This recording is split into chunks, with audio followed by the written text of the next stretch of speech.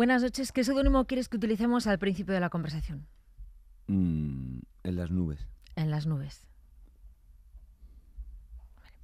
Arrancamos en la orilla del mar, nos despediremos en un faro y siempre os pregunto por vuestra relación con el mar. ¿Cuál es la tuya? Mm, de compañía total.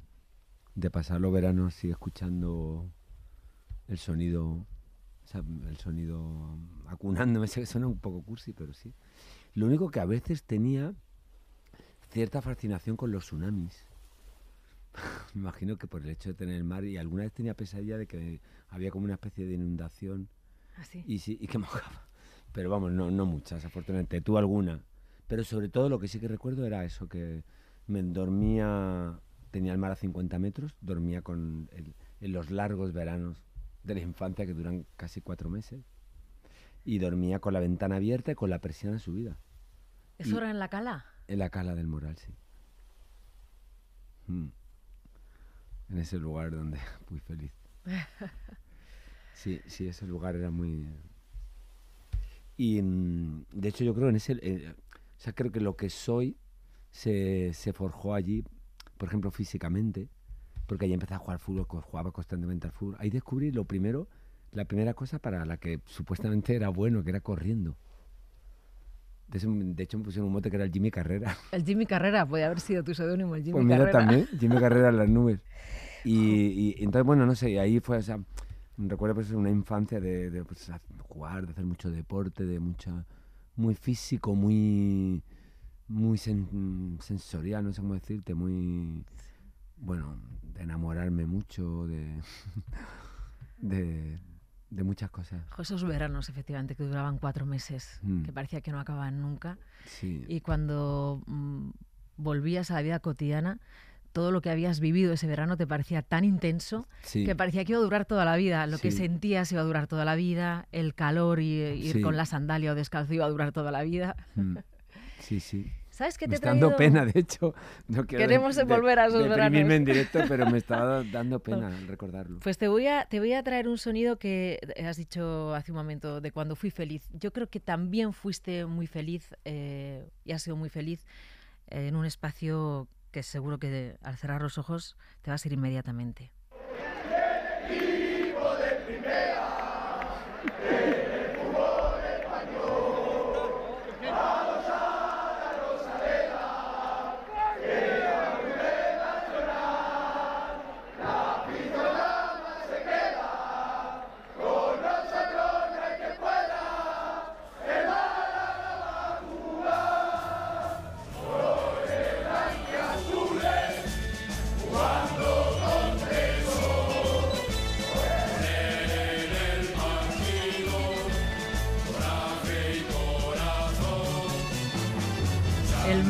tus amores.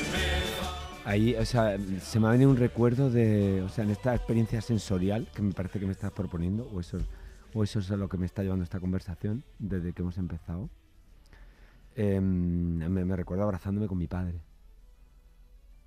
Eso es un recuerdo, algo que ya no puedo hacer, desgraciadamente. Y sí, eh, me ha venido ese recuerdo, me ha venido recuerdo luego de otro día, de un día que, que le ganamos y todo al Madrid, entonces fue como... O sea, lo bueno de ser, de ser perdedor es que cuando ganas es la hostia. o sea, lo bueno que tenemos los perdedores es que como, como, como todo en la vida, o sea, si, si ganas mucho se convierte en rutinario. Pero cuando eres así perdedor, ganar de repente es algo muy hermoso, muy emocionante.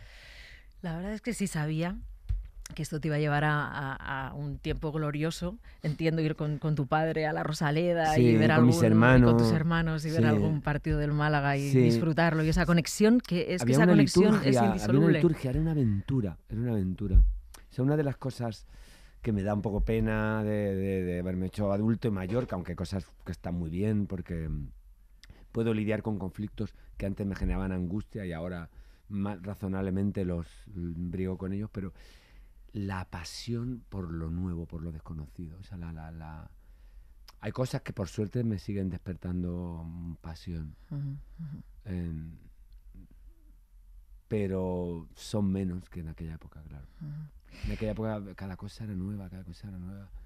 Era todo muy, no sé cómo explicarte, muy cada día de repente pasaba algo, descubría algo, iba a un sitio nuevo que de repente conocías a una chica y te parecía, conocías a alguien. Recuerdo conocer a gente y fascinarme la gente. Es una putada eso, el perder la, ni la capacidad de fascinación. De hecho, cuando vine a Madrid a estudiar la carrera, o sea, a mí me lo decían mis colegas, me decían, tío, eres una esponja. O sea, cuando tú llegabas eras, tenías una pasión voraz. De repente me, he acordado de ese. No es que la haya perdido del todo, ese hombre, todavía que sigo vivo. De hecho, creo que estoy hablando contigo en este momento. Pero no es lo mismo. Mm. Pues sabes que te llevará varias primeras veces, porque este es un viaje que, como digo, arranca en la orilla porque vosotros sois faros, por eso sois gatopardos, pero vamos a hacer el recorrido de la orilla al faro. Em, si yo te digo eh, Don Antonio y la historia de Don Pituchín y Pituchina. pues es imposible remontar esto, claro. De, de esto y ahora cómo, cómo convierto esto en una historia de pasión y de entrega al arte. Pues espera, dímelo cuando aquel compañero tuyo, muchos años después, te dijo, ¿sabes qué, don Antonio? que dirigió esta función en el cole dijo, qué pena que se haya ido este chico, porque actuaba genial. Don Joaquín, perdona que te corrija. Don Joaquín, don Joaquín. don Joaquín. Y mm, no sé por dónde empezar para ser breve. Petuchina y Pituchina es una pieza, es una, fue una, una extraescolar. Yo estaba en séptimo de GB, lo que sería ahora eh, que sería Antonio primero de la ESO, segundo de la ESO. Segundo de la ESO. Em, y entonces eh, llegaron una compañía de teatro y entonces hicieron esa, con una pieza como, no, vamos a probar. Y había una chica de la clase que me gustaba y, que yo era incapaz de, acercarme. Entonces me di cuenta que al hacer de repente en aquello, en ese código, en ese espacio, yo podía trascenderla, podía mirarla, no sé, le hicimos ella y yo la, la, la función del texto y me di cuenta y digo, hostia, o sea, actuando Mm, puedes hacer cosas que no haces en la vida real, es que no sé cómo explicarte. Te hace valiente. Te hace valiente. Te hace valiente. Te hace valiente, o sea, sí, puede, puede de repente decir algo, hay un puedes jugar algo que las o sea, mis, mis traumas, mis, bueno, yo qué sé, mis, mis, complejos me impedían. O sea, dije, hostias, digo, con esto, esto es la bomba. Y de hecho sentí tal fascinación por la compañía de teatro, se llamaba el grupo Arlequín, que me acuerdo de la canción. ¿Cómo era? Eh, son los pasos de rueda, grupo Arlequín, no de Lope de Vega al teatro infantil. Teatro Arlequín, para ti, para ti. Y aquello te juro que me parecía la Royal Shakespeare Company, de, pero de verdad me acuerdo los pasos, la aceituna, me acuerdo todo perfectamente. Con esa fascinación de. Mm, que si lo viera ahora me parecería, claro, o sea, pero entonces. Y me apunté en la escuela de teatro Em, pero supongo por mis complejos, por mis amigos o por mis miedos, dejé la compañía de teatro.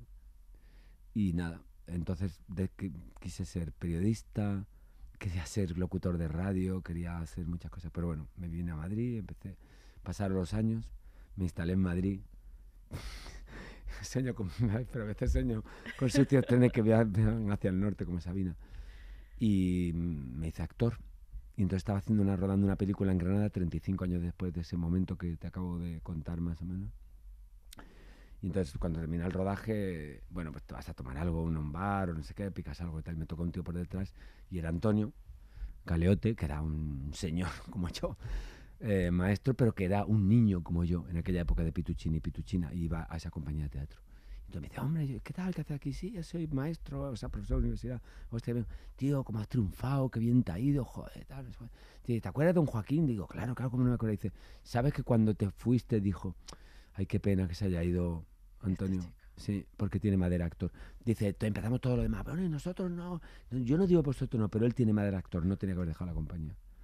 Y entonces me pasó un Julio Meden, se me erizó la, se me la piel de ese recuerdo que se me erizó la, se me puso la carne de gallina y entonces fantaseé, dije yo, ay Dios, que me, que me habrá visto, me habrá visto. Porque me enteré, al poco me enteré que, que sus últimos años había tenido demencia senil o Alzheimer, no sé qué. Terminó muriéndose y de hecho le abrieron una sala en Málaga, la Diputación, y yo, mandé un vídeo deseando suerte a la sala, que agradeciendo que le pusieran su nombre y que, ojalá que la cultura pudiera verse pero, pero tengo el sueño, que nunca podré saberlo, que me vio y que tenía razón. Que te vio don Joaquín. Sí, bueno, y esa fantasía que tiene uno de, Yo cuando era niño, ¿sabes una cosa que yo soñaba mucho cuando era niño? Fantaseaba con mi, mi entierro. ¿Ah, sí? Sí. Para saber quién iba, para Para, qué. para saber quién iba. Para saber quién iba.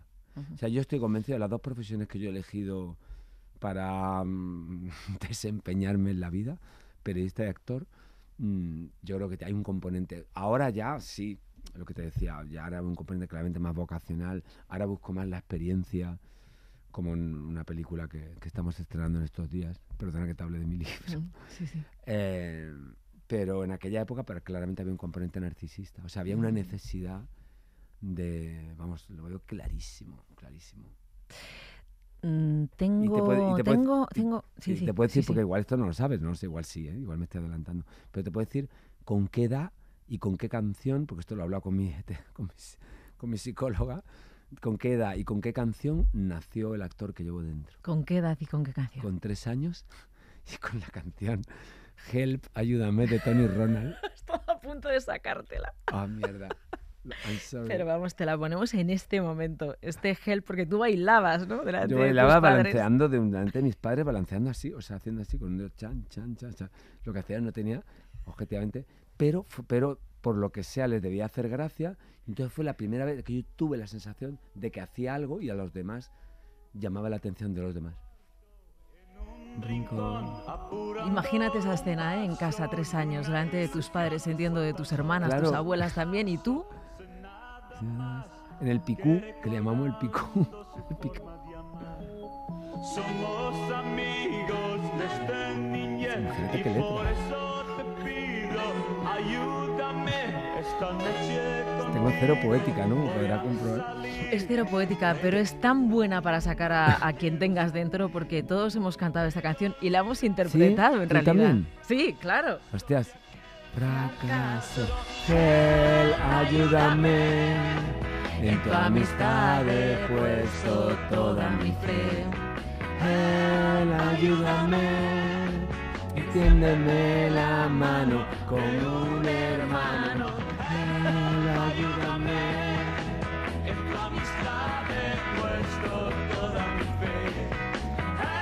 Sí.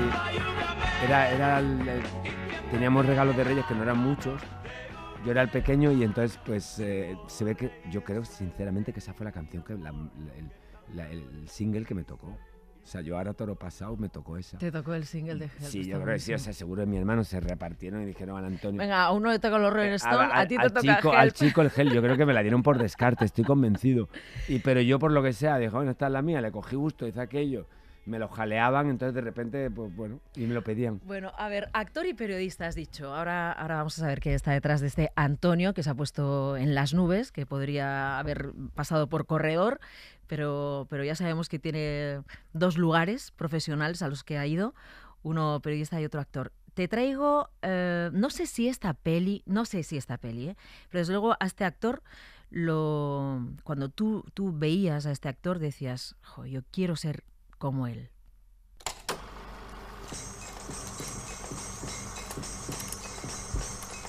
Señorito, Azarías dice que usted le despidió, ya ve qué cosa. Después de los años. Vamos a ver si nos entendemos.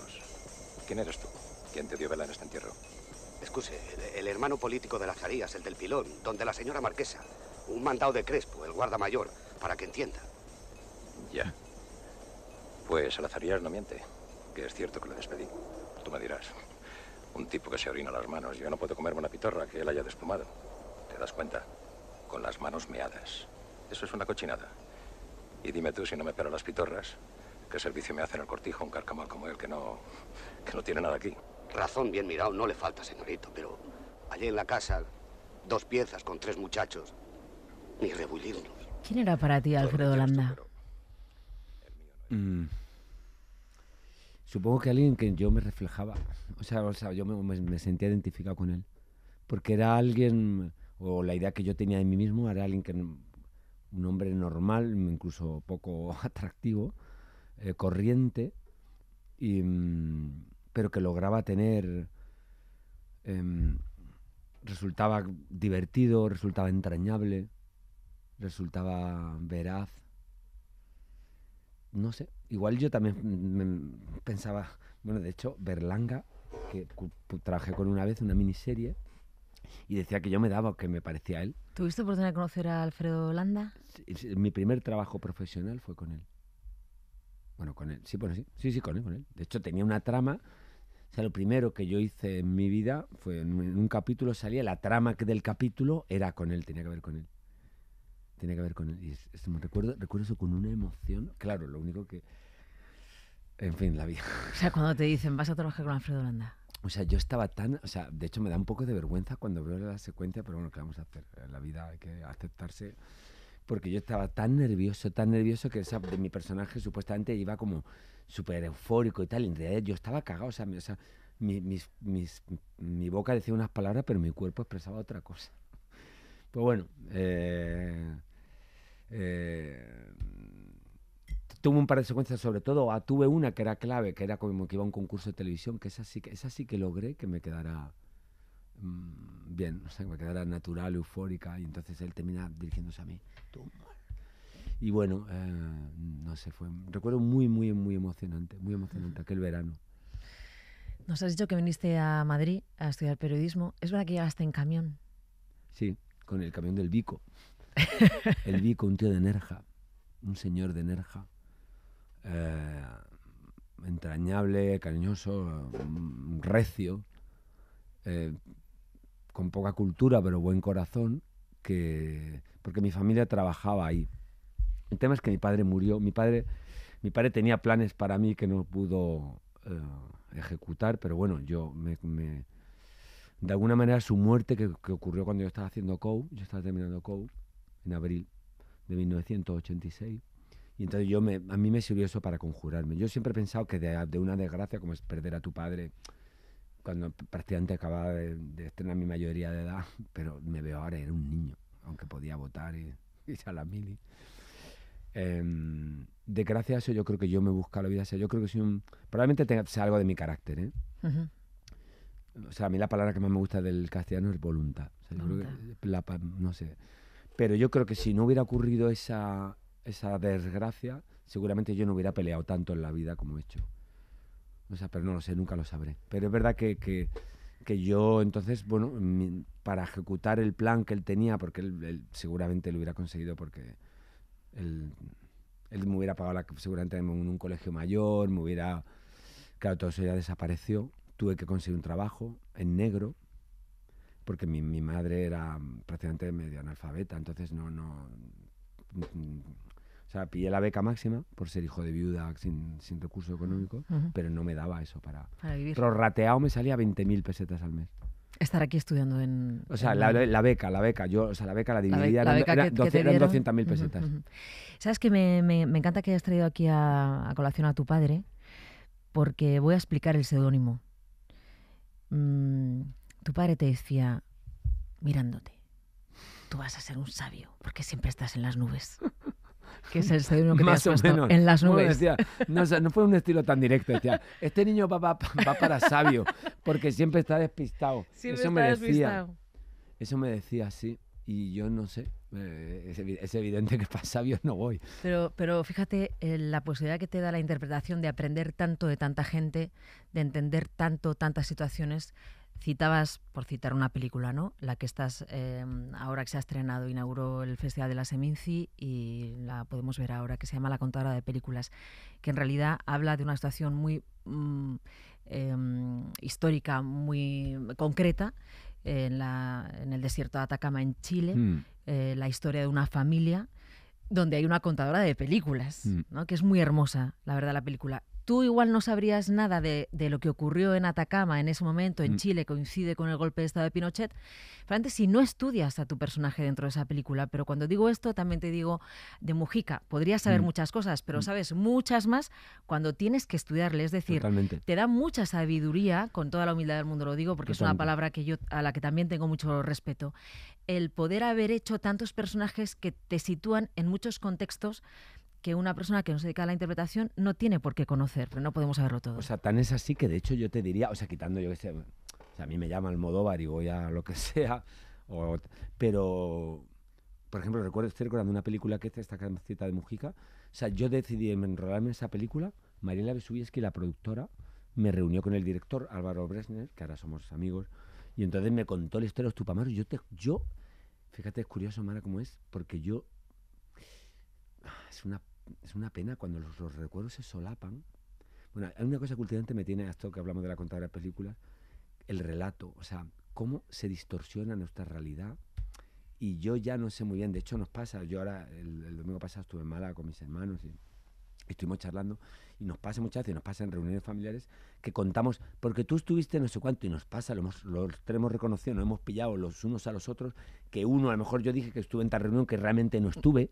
Sí, sí, que la memoria es ficción. La memoria es ficción, bueno, Sí, sí. de hecho, bueno, y, y- y estos son casos más o menos, momentos más importantes, momentos más entrañables, más ridículos, más tal, en casos muy fuertes, como por ejemplo, mm, creo que lo dijo Isaac y la cuesta en cierta ocasión, o sea, que con- cuando estuve investigando con lo de Bataclan, para la película Un año y una noche, Sí, sí, sí. eh, que al parecer se encontró caso de un policía que nunca había estado allí, que dijo que había estado allí, de dos personas que estaban y, y y- y hicieron un relato completamente distinto y estaban juntas del espacio en el que estaban, o sea, como es, es- es impresionante, o sea, cómo, cómo todo eso se va. Y yo, por ejemplo, ahora me resulta impensable que hubiera una época de mi vida que yo no supiera de los Tupamaros y de Mujica. Pero yo creo que cuando me propuso la película, en una cafetería por aquí cerca, me contó, pues eso, cómo estaban, cómo estaban en aislamiento, que estuvieron 12 años, cómo se inventaron un sistema así para comunicarse En clave. Mm. en clave, cómo aguantaron, cómo hicieron un viaje de ida y vuelta a la locura. Y me pareció tan fascinante, tan fascinante, que me acuerdo de elegir algo así como, digo, bueno, que hay que contar esto una película, está claro que estamos haciendo aquí. Y recuerdo que me sonrió, ¿no? Como estás sonriendo tú ahora, entonces, eh, y, mm, y fui al viaje. Y aparte pasó una cosa muy bonita, muy entrañable, porque fuimos a Uruguay al poco tiempo después, aprovechando una cosa, unos premios platino, una cosa. Entonces me presentó a los tres, a Mujica, a Huidobro, eh, Leuterio Fernández Huidobro, que era ministro entonces, no sé si era de Interior o qué, y a Mauricio Rosenkopf, que era escritor. Huidobro nos concedió una entrevista un 26 de julio, lo recordaré perfectamente porque luego, eh, 10 días después, se murió. La última entrevista que nos concedió fue a nosotros. Y, y a los tres les decía, dice, no lo hizo como dice, es que aún no sé qué personaje vas a hacer. Dice, entonces yo le voy a decir a los tres que tú probablemente hagas de, de no, te voy a presentar a este actor español que va a hacer de, de ti seguramente, para que también te atiendan y, te- nos cuenten cosas. Y bueno, y no sé, y me fascinó, me pareció tan fascinante. Tú, tú imagínate todo lo Sé- que... Esto es sí, una sí, frase, perdona, sí, sé que esta es una frase como muy de entrevista, pero te lo juro de corazón que la digo, o sea, que me interesan más las pelis por lo que yo puedo investigar averiguar que por lo que puedo interpretar.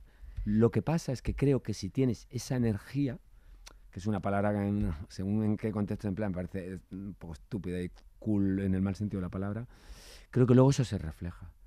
En la película y en los papeles En- que o sea, interpretas. hombre, y le, papel- da, le da eh, honestidad. eh, mm, Yo- yo- y yo hice una película que se llama El Reino, que, que, o sea, que es que si yo te contara la nómina de, de asesores que tuve en esa película, no te lo creerías. Que Mm. te dio tu, tu segundo Alfredo Goya. Pérez Rubalcaba nos mandó un PDF con 33 notas. De hecho, a la película igual no la recordarás, pero había... Ya, hombre, claro, la de Sí, Sorogoyen te pero, dio el, pero- el Goya. pero no la recordarás con detalle, pero, había una trama de un colombiano que me averiguan no sé qué dónde están los papeles de, de y entonces eh, me acuerdo que el- en principio eran los colombianos y él dice, nosotros, eh, o sea, estas cosas se llaman fontaneros. Por ejemplo, un dato, eso se lo debemos a él. Y luego, bueno, pues me con Álvaro Pérez, con Granados, con Cristina Cifuentes también nos, estuvo ayudando con el guion. Eh, Marjaliza, bueno, Ana Pastor, por supuesto, nos ayudó, nos ayudó mucho también. Un juez que nos, nos, dijo, no, no digáis que os habéis visto conmigo. Digo, vale, pero también nos... Y entonces a mí me fascinó eso. Me... Está- cerca de los personajes reales. Bueno, sí, y sobre todo porque yo esto se lo dije a Rui, le dije, Rui, yo digo, tío, o sea, esto es muy importante, o sea, esta peli, además nosotros que tenemos como la etiqueta, los rojeras, o sea, no podemos hacer una peli maniquea, digo, esta película tiene, tiene que verla los, los que, no digo que no tienen un aprobado, digo, pero tienen que verla, tienen, o sea, tenemos que, tenemos que testarla con los que se acercan un poco a, a lo que realmente queremos contar. Y, y- y contarla desde ahí. Si no va a ser una peli que... O sea, digo, como hagamos una peli haciéndonos los malotes, mal, mal. Mal, ya, ya, no, no. Eh, pues eh, conseguisteis que fuera una peli en la que todos erais creíbles. No lo voy a descubrir yo a estas alturas. No, bueno, a Pero pinchas, eh, ¿eh? Antonio de la Torre, me, me- escuchándote así desde el principio, hay como mucha gente que encontraba en ti algo que a ti te costaba ver. don Joaquín, ¿no? Mm. Tu padre también igual, ¿no? Con lo de serás un sabio, ya lo hemos explicado. Eh, Daniel Sánchez Arevalo no es verdad que te dijo un día voy a hacer un guion a la altura de tu talento. Mm. Sí, sí. Algo así. No me acuerdo de la frase exacta, vuelvo un poco a lo mismo ya. Sí que, que De- no, no de sabes, tantas pero, veces que lo he dicho, no sé cómo sería, pero sí, algo así como... ¿no? Que voy a hacer un guion para ti. Yo creo que nadie ha escrito un papel a la altura de tu talento y yo... De hecho, él tenía un corto que se llama Física y Química, entonces lo, lo, lo ensancha, por ejemplo, a una expresión, lo convierte en largo y mete una trama de un, del hermano del protagonista, que se llama Antonio, además. Y me lo ofrece y bueno, y, ese, pa- ese papel me cambió la carrera. Eh, sí que recuerdo que me dijo, fíjate, o sea, lo, Daniel en aquel momento pensó que las dos potencialidades mías, dice, mira, yo creo que tú tienes dos potencialidades para este personaje que yo quiero mm, que tú las pongas ahí, ya verás, que son eh, la ternura y el sentido del humor. Por lo, por, lo que se ve, según ¿Y, y parece. la ternura de quién la de heredas? gracia no ¿De tengo quién la heredas la y- ternura? Mi madre. De tu madre. Y el sentido del humor de mi padre. Mi padre era muy, muy, o sea, era un tío muy vivo, muy, o sea, un tío... y era muy, sobre todo era muy ocurrente, era muy listo. Y tenía un punto así, gamberro, pillo, era, era un tío brillante. Lo que pasa es que, bueno, es un niño, o sea, claro, yo, yo te hablo de mi orfandad, pero yo, o sea, él, él se quedó huérfano con tres años. Y, mm, mm, bueno... Un hombre Sí. con voluntad para sacar bueno, adelante con todo. 12 años empezó a, a trabajar. Ujú, ujú. Y aún así era un tío que tenía una cierta cultura. Una cultura muy, muy heterodoxa. Me acuerdo que le- leía libros de Ben Hassel, Treblinka, o sea, novelas de estas de guerra, así y tal. Y sobre todo tenía una obsesión, esto también lo, lo habla mucho con mi hermano y seguramente con mi psicóloga, decía, tenés que ser el número uno. Muy importante ser el número uno. Pobrecito mío lo repetía mucho. Y no te vio, eh, no te vio en ningún papel tu padre, ¿no? te vio en ningún no, papel. No, no, mi padre lo único es eso, tuvo como, o sea, su, la semilla que dejó, porque hombre, a mí, eh, es que un día pasó una cosa que a mí realmente me marcó mucho, eh, sentí, y, mm, obviamente, claro, cuando yo le digo a mi padre, que ya se estaba muriendo, que no me escuchó, no te preocupes que yo sacar una carrera, en realidad no se lo estaba diciendo él, me lo estaba diciendo a mí mismo. A mí eso me sirvió mucho. Él, él- él tuvo una, una charla con un amigo, no sé, un amigo, creo que era mi padrino, ahora no, tampoco me acuerdo bien. Pero sí que me acuerdo, yo estaba por la casa por ahí merodeando, porque a él le ofrecieron con mi edad, él murió con mi edad. O sea, yo ya tengo más edad que la que vivió mi padre. Y, y entonces le dijeron, eh, le ofrecieron un, un trabajo en, la misma, en el mismo sector, pero en la línea, vivía en Málaga, en la línea, va a abrir una nueva oficina. Entonces, este, que creo que era mi padre, y no, un amigo dijo, pero tú ahora vas a cambiar ahora, a tu edad. Dice, no, es que el chico tiene que estudiar periodismo, quiere estudiar periodismo, entonces necesito ganar más dinero para pagarle la carrera y tal. Eso, eso me marcó tremendamente. Eso sí siempre fue para mí como una... Y luego, y luego hay una figura, antes, antes he planeado una figura que, que clave que es Ángel Rojas, que es un hombre que es amigo de él, que me consigue un trabajo, insisto, quiero decir esto públicamente, un trabajo en negro, para que yo pudiera, claro, no perder la beca. Entonces yo trabajaba por las mañanas en la empresa esta en Madrid, me pagan 30.000 pesetas, trabajaba por la mañana y por la tarde estudiaba la carrera. Pero no, no era una empresa vinculada con el periodismo. No, no, no, que va, una empresa de transporte, cosa, se llamaba. Una empresa de transporte, yo, yo, yo pasaba albaranes uno tras otro, o sea, mis años de, de la universidad. A- Así tengo este discurso tan plano y tan carente de interés. Yo me, cosa, yo me pasé en la universidad, en vez de por la mañana estar leyendo o lo que sea, pasando Haciendo albaranes. Sí. A mí una cosa que me encanta de que has contado en alguna, en alguna entrevista que, que la primera cosa que escribiste en un medio fue una, un comunicado en el que había una reunión de comerciantes de zapatos. Exacto. Entonces tú has Yo empeñado quería en firmar, firmarlo, que esto lo quiero firmar yo, Yo que esto lo quiero firmar yo. Esto lo quiero firmar yo. Y decía, tía, había que venir Diario Sur. No, claro, yo escribía, o sea, claro, yo, yo lo guardaba, mi tía Paca lo guardaba, o sea, igual en alguna de, en, no sé, en alguna de esta mudanza aparece por ahí. Claro, yo, yo escribía algunas crónicas de la feria que eso debía ser un tostón, que no se lo comía, o sea, yo no quiero saber lo que... Yo, la, la feria de los mil colores, yo me parecía, yo me creía umbral. Y yo escribía ahí unas crónicas, claro, esa es la, es la claro, es la pasión de... Es, es la pasión, fíjate, efectivamente. O pasión. sea, hay que tener ganas de firmar un, un rehacer, o sea, rehacer, pues lo que yo hacía realmente era como darle un poquito más de forma y darle un poquito más de empaque periodístico, pero emplear una expresión, un... Que era un, un encuentro de comerciantes de zapatos. sí, ¿no? los comerciantes los comerciantes de zapatos se, reunirán el día se tal. reúnen tal sí como era entonces em, han aumentado las ventas tal y van a demandar que la zona se peatonalice es una cosa realmente ah, de como del siglo XIX. Pero que te tomaste tu tiempo para Yo redactarlo no, con no, arte. yo lo- lo- lo- con arte. Yo creo que, que yo seguramente lo empeoré. Pero sobre todo era el afán. El afán de que sea mi nombre ahí. Antonio de la, Tre- de la Torre, cuando has dicho ah, al principio de la entrevista que estábamos hablando de la cala, de esos veranos eternos, de, de esa ilusión, eh, ¿qué te despierta ahora eh, la, la ilusión? Dime algo que te despierte, que te, que te ponga brillo siempre en la mirada. Em, un buen papel. Me pone brillo. Eso te sigue poniendo brillo en Eso la me sigue mirada. brillo en la mirada. Los paisajes. Paisajes distintos.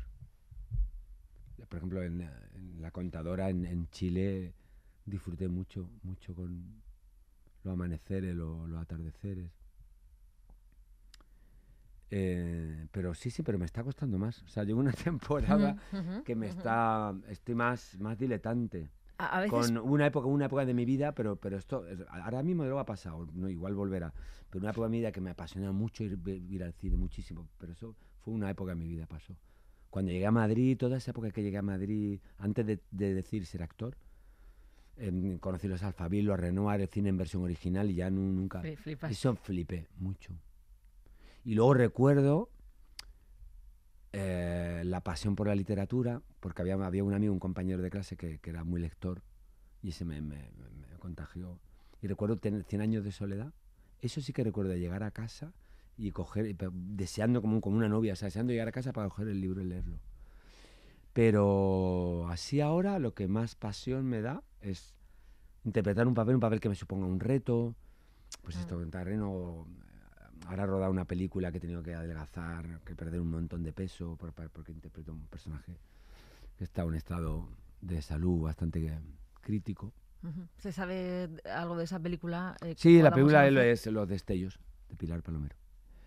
Y mm, ¿Y el teatro? Volver al grupo Arlequín. bueno, ¿Y el teatro? el teatro... O sea, yo el problema que le veo al teatro, Mara, o sea, que me cuesta encontrar... Bueno, vi mm, mm, mm, por circunstancias, como yo vivo en Sevilla, o sea, bo- vivo en Sevilla, no sé qué, vengo a Madrid, me muevo tal, a veces me cuesta pillar, hay obras que se me escapan. Me, me gu- me gustaría ver la de Lorca, esta que ha hecho Juan de Goboto, que creo que es una barbaridad. Maravillosa. Sí, Una noche sin luna, sí. Esta la, la he perdido. Entonces, hay algunas obras de teatro que las veo y digo, joder, yo quiero hacer esto. Las que dirige Sergio Perimencheta, Andrés Lima, Un trozo invisible de este mundo. Ujú. Hay funciones que digo. Y hay otras que con todo respeto me parecen más convencionales. Entonces, bueno, eh, o sea, con esto te quiero decir que el teatro en sí no es ni una... Bueno, eh, lo que pasa es que es difícil. Y luego, luego es verdad que hay un tema de conciliación. Yo tengo dos niños pequeños y claro, el teatro implica normalmente 40 días de ensayos, normalmente aquí en Madrid, Luego normalmente luego gira. gira los fines de semana, entonces me encantaría, o sea, me, me encantaría. Es verdad que es una experiencia muy apasionante. De hecho, hice una obra el año- hace un año y medio, hace un año, eh, eh, Un hombre de paso, dirigida por Manuel Martín Cuenca. Estuvimos en español. Y bueno, fue una experiencia muy, muy emocionante, pero, pero es verdad que también tenía un diseño así, un poco ad hoc. Estrenamos en Sevilla, yo, me acuerdo llevar, yo llevaba a los niños al cole y me iba a ensayar, o sea. eh, quizá más adelante sea algo que. ¿No vas a echar de menos presentar la gala de los Goya? No, no, no. La no, no. próxima edición. No, no, No. no, no. No, yo creo que es. O sea, que estuvo bien, me pareció una experiencia porque. porque o sea, no sé si pasión, pero me te acojonas, o sea, fue un, un viaje y luego, luego un curro, un curro, pero no te puedes ni imaginar, Mara, lo que es presentar los Goya. Para tres momentos que sales, o sea, la de veces que recibimos el texto, porque era, no, pero hay que decir esto, pero cuidado, pero hay que hablar de todas las películas, pero bueno, tal, vamos a ver, porque digo, joder, macho. O sea, era, o sea, costaba mucho. Costaba mucho encontrar la finura, a mí no me terminaba de convencer nada, nos proponían cosas, era, o- ostras, tenía, tiene, tú eres sumido, ¿eh? Yo recuerdo que empecé así como con bastante, bastantes nervios, porque además se murió Carlos Saura el día anterior, Sí. entonces tuvimos que cambiar toda la escaleta. Eh, De repente yo, mm, que más o menos sabíamos cómo encontrar lo que hacer, de repente me planteé dudas sobre el tono, porque digo, joder, a ver, a ver cómo... Y entonces al principio, y luego sales allí, 3.000 personas, Pedro Sánchez allí, todo el mundo, Sabes todo- que Saura dijo, nos lo contó Lali, su, su mujer. su mujer, Su que vida. estuvo aquí de Gata Parda hace un par de meses. nos contó que Saura no quería recibir ese Goya, porque a él le parecía que era algo vinculado a la decrepitud. Claro. Y entonces... eh, Claro, el Goya de honor, claro, los Goya de honor. Entonces, es- es el dice, yo estoy segura de que él escribió el, fin- el- el final de su vida para morirse antes de recibir ese Goya. La putada Hasta, hasta en eso era una Puede- genialidad, puede ¿no? ser, y la putada es que no, el pobre no consiguió evitar que se lo diéramos. Pero sí, sí, sí, yo lo comprendo perfectamente. Hombre, son los homenajes, cuando empieza con los homenajes. O sea, cuando una carrera yo me cago en Dios. O sea, ya, Eh, ya lo siguiente es... Antonio de la Torre, has dicho que, que- que tu padre murió más o menos con la edad que tú tienes ahora. ¿Eso lo piensas mucho? Si Sí, te recuerdas a él, no dices, "Jo, yo me Es que me siento, parezco me mogollón siento a muy mí". joven, ¿no? Claro, claro, es claro, yo, yo, yo para empezar... Tengo todo por, por hacer. Para empezar, yo te, cosas. yo te enseño, sí, sí, claro, y encima además yo que tengo niños eh, muy jóvenes, Pequeños, sí. pequeños, sí, entonces eso ya, ya, ya, solo por eso, o sea, a mí no me mata ni Dios, o sea, no me muero yo ni loco, solo por eso. Pero sí, sí que es verdad que, aparte es que yo me parezco mucho a él, yo te enseño fotos de él y, fliparías, fliparías. Hay, eh, hay una foto en que Dios nos perdone que esté así como de lado y tal, con el pelo así y tal, igual, el mismo pelo que él, o sea, igual. Y sí, sí, claro, obviamente lo pienso, lo pienso. Habla- hablas con mucho amor de tu padre, la verdad. Mm. Sí, sí, sí, era... Bueno, supongo que también con el amor también del... eh, De la, la pérdida de temprana. claro, y hay, hay algo de, idealización. También en la pérdida se idealiza mucho. En general se idealiza mucho. Mm, esto, esto lo he hablado con, alguna vez con algún amigo. O sea, normalmente tú te montas una película de un relato. Aparte esto pasa y con la edad va pasando. Te va montando como una película de lo que ha sido tu vida. Y entonces, bueno, al final supongo que es, supongo que es un proceso natural de prepararte para la muerte. ¿eh?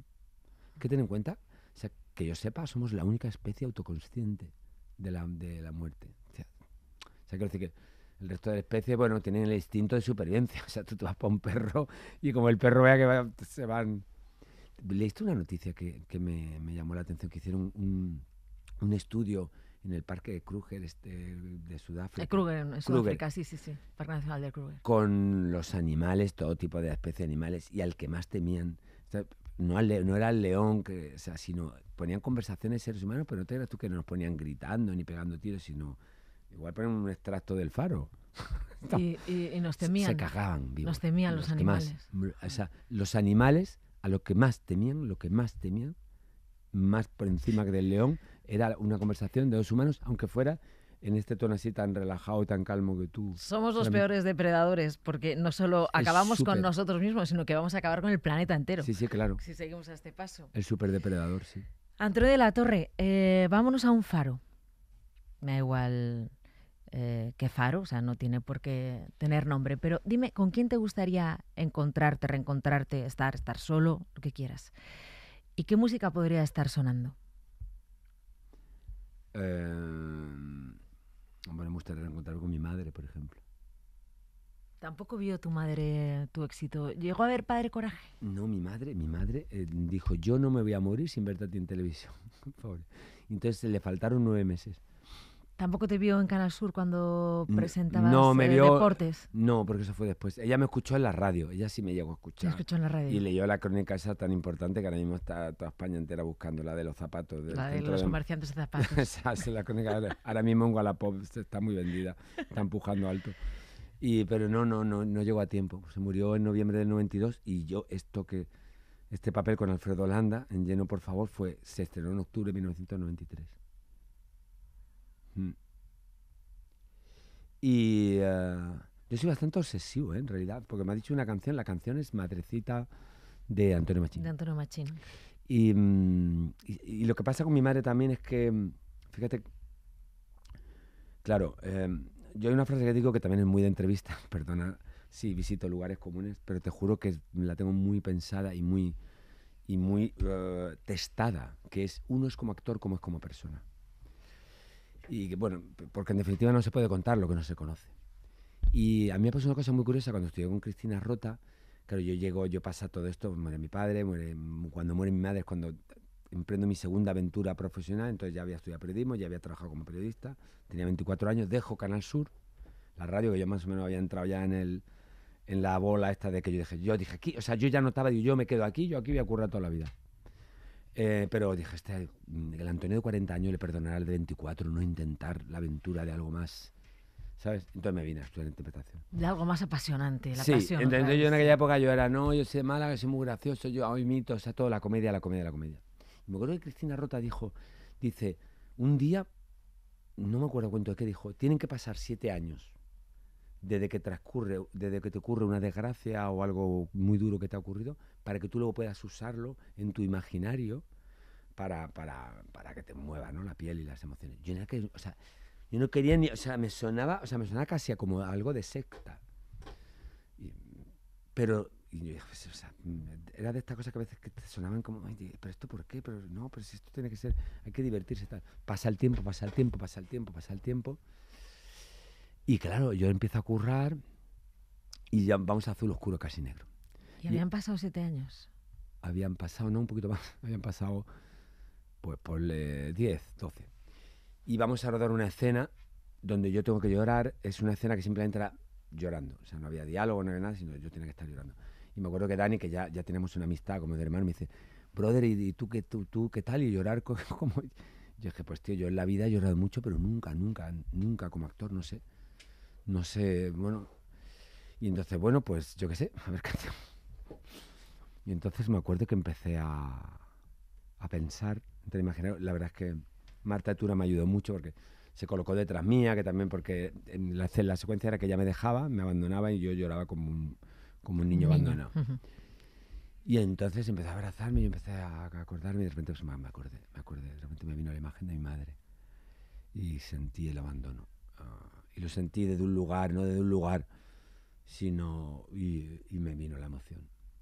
Y fue la primera vez que sentí algo que luego he podido experimentar y de hecho ya, claro, eh, mi oficio, el desempeño de eso, cosa que también me habían dicho, que me sonaba también, digo, esto qué mierda, ¿eh? ¿Quién dice esto? Que, es, que, que se habla que es del actor mago, ¿no? Que es, hay una parte donde está el personaje, que estás viviendo una emoción, y el actor consciente, claro, que es Fernando Pierre, ¿no? Que es otro preparador con el que he hecho muchos cursos de dos semanas, bueno, te decía, dice, claro, pues que gritan fuego y sales corriendo, pues si no te, te habrías vuelto loco. ¿Me explico? Entonces me acuerdo, y te, voy a argumentar porque yo estaba tal, noto que me viene emoción, noto empiezo a llorar, uh, y noto como Antón Zavala, An- Antón Zavala, el ayudante de dirección, con mucha sensibilidad y con mucho tacto, dice, motor y acción. O sea, de una manera muy bajita, muy calma, para no romper mi concentración, da motor y acción para que, porque viendo que yo ya había alcanzado eh, la emoción que se buscaba y poder rodar. Y, no, y si- siempre lo- se, se lo dije, digo, tío, estuviste súper fino porque lo hiciste de tal manera para que a mí no se me fuera la concentración, no me cuidaste mucho. Y a partir de ahí me, han, me ha venido a visitar en un montón de, de bodas, bautizos y comuniones. y eh, bueno, ¿Cómo se llamaba tu madre? remedios, Remedios. ¿Tu padre? Enrique. Enrique. Y, ah, y bueno, me, me han, me ha- me han acompañado mucho. Mm. Y- luego, luego el imaginario ya se va mezclando, ¿eh? ya vas tirando, te imaginas cosas, es, es- es increíble por dónde te pueden llevar lo, lo- es muy curioso, eso es muy, es muy, muy bonito. Yo, yo siempre lo he dicho que mm, debería, llámale interpretación, autoconocimiento, asignatura de Condemor de la Pradera, o sea, me da igual, pero un, para cualquier oficio, el, mm, deberías una asignatura obligatoria en los colegios, en secundaria y tal. Luego seas un físico, sea un químico, sea una doctora, lo que sea. Porque te ayuda al autoconocimiento, a saber lo que te pasa, a saber... eh, la, la verdadera información no está en la palabra, está en el cuerpo, en la mirada. Y a ti bueno, además- esto, esto tú no, lo a- tendrás y a ti- clarísimo, ¿no? a Dedicándote a, a la a- comunicación. Bueno, y, y a ti además desde el principio te ayudó a expresar cosas que no expresabas de otra manera. Cuando en, en, Totalmente. eh, Pituccini y Pituchina yo era un, te, yo, te yo era- fuerte y yo era un valiente niño como para complejado. contar cosas Yo que era un- no podías contar de otra manera. Absolutamente, soy un niño complejado, Mara. O sea, yo siempre, siempre había uno y así yo me, así, bueno, así, así casi me planto en los 50, ¿eh? O sea, que no, no me, no me tire de la lengua porque es bastante lamentable mi, mi, mi tránsito por la edad adulta. Pero es verdad que yo... Ahora que te llegan, ahora que te llegan todos los papeles, que puedes No, elegir claro, lo que quieras, claro. pero te digo una cosa, uno lleva dentro lo que es. Ya, Y, puede y ser. yo Pero no siempre, sé- siempre pensaba que había uno mejor. O sea, siempre, pero bueno, te digo que ahí puede haber una pulsión narcisista, pero siempre había uno, siempre había uno del grupo que era o más guapo, o más gracioso, más tal. Por eso cuando gané la carrera esa de Jimmy Carreras, de repente dije, hostia, soy el, soy, soy el mejor en algo. También me imagino que tenía que ver con lo de con lo que me decía mi pobre padre de que ser el número uno. Pero es verdad que es muy importante, o sea, realmente es muy importante la autoestima. O sea, es un tema, es un temazo ¿eh? a, cu- a cuidar en nuestra sociedad. Si te vieran ahora, la verdad, tus padres. Ya. Sí, eh, lo que pasa es que claro, es- es- la putada de ser ateo y laico como soy yo, es que no me, en ningún escenario me imagino que me puedan ver. Bueno, pero antes cuando decías lo de don Joaquín, ¿no? Me planteo alguna vez eh, Sí, si él me vio en vivo, vida. vivo, vivo. Claro, tú no, tú no sabes, sabes claramente que no te vieron, pero también, no sé, te imaginabas tu entierro. Es que es, son cosas Ya, curiosas. ya, ya, sí, sí, tengo. Yo creo que mi tercer trabajo va a ser trabajar en una funeraria o algo. Me imaginaba mi entierro sobre todo porque en, en realidad la fantasía del entierro, pero ¿Iba esto- toda la gente que te caía bien o quién iba ahí? Claro, yo creo, creo- tengo entendido ¿eh? que esto tampoco lo, hacía tiempo, que- hacía mucho que no hablaba de esto con nadie. Pero em, creo que es de primero de, de psicología de no sé qué, o sea que, que es como, creo que tiene mucho que ver con, con quién te quiere y quién no te quiere. Claro, claro. O sea, sí, la yo- yo- fantasía Yo, de también he llegado a imaginarme mentir. Sí, tú también. sí. Claro, ve quién te quiere y quién no. Claro, Y llorando, ay, pobrecito. Entonces aprovecha. Y, y es un juego que te permite mm, vengarte de la amiga que, te ha, que ha pasado de ti y se ha junta con otra amiguita y te ha dejado de lado. Y tú ah, y la- entonces a esa te la imaginas llorando, ¿entendés? Ay, Mara, que, la he dejado de lado y tal. O sea, yo me acuerdo que yo hacía pequeñas venganzas. No, no, yo pensaba en mi sex. Claro. Todos llorando. Qué tonto he sido, cómo tal. Pues sí, sí. ¿Cuánto la quería? Claro, cuánto la quería. Sí, sí, es que está muy bien. me habían dejado ellos. Eh, Tenemos que recomendar a la gente que hagan ese ejercicio. O sea, se- se- yo me he quedado muy bien. luego. Antonio de la Torre, no, no esperaba pasármelo tan bien contigo. La verdad que ha sido una gozada. Teníamos, Ah, o sea que teníamos eso- esta agenda eh, hace, hace meses detrás de ti. Eso vas a decir en mi entierro. No esperaba habérmelo pasado tan bien contigo. Estaría bien eso. Sí. Pero sí, la verdad que lo hemos pasado muy bien. Te agradezco la generosidad de haberte abierto No, así desde Tenía el muchas ganas de principio. venir, así que me ha hecho mucha ilusión charlar contigo. Así que nada, que vaya muy bien. Aquí te dejamos con Madrecita. Adiós. Buenas noches. Buenas noches. No te importa el color que ya tenga, porque al fin tú eres madre una flor. Cariño es mi bien, madrecita.